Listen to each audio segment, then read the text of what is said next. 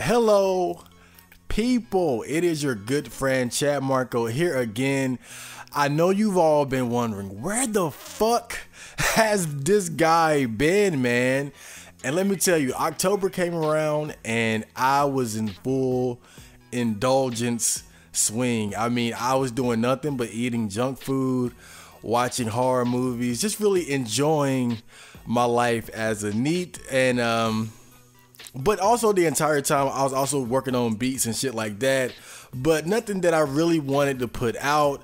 But now that October has come and gone, I've had my fun.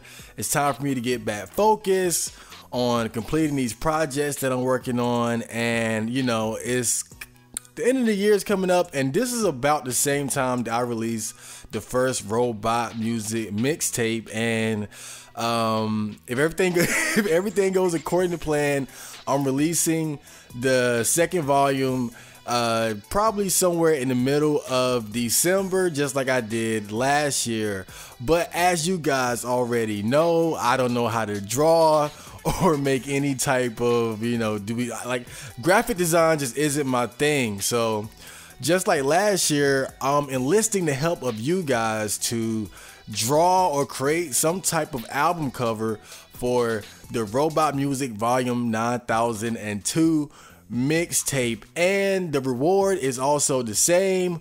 Whoever's cover is selected for the mixtape, I will make a song about any feel of your choosing for the next mixtape. And yes, there will be another mixtape. I think I'm probably gonna do one like every year because uh, it's so much fun to uh, work on these. But yeah, uh, the mixtape is about done. I'm just working on a couple more songs and I'm working on uh, a couple more projects at the same time. So I'm to be busy throughout the end of the, year since I procrastinated so much during October. But uh, yeah, uh, so if you guys can, please, anybody who has any type of artistic talent, will you please lend me your energy uh, so that we can have a dope ass cover just like we did last time. I mean, that last cover was just fucking awesome, man. And uh, there were some other ones uh, that were cool as well. But yeah, if you guys can draw or know anything about graphic design, please, if you will, try your best to create the uh, mixtape cover for this album. And uh, yeah, that's a about it, man. And um, you know, just enjoying life